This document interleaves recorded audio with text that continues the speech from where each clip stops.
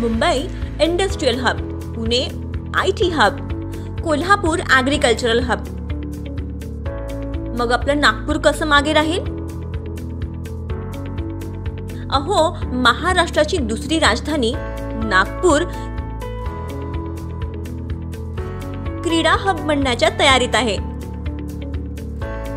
नागपूर शहरात एकूण साडेतीनशे मैदानं तयार करण्याचा मानस आपल्या फडणवीस सरकारचा आहे.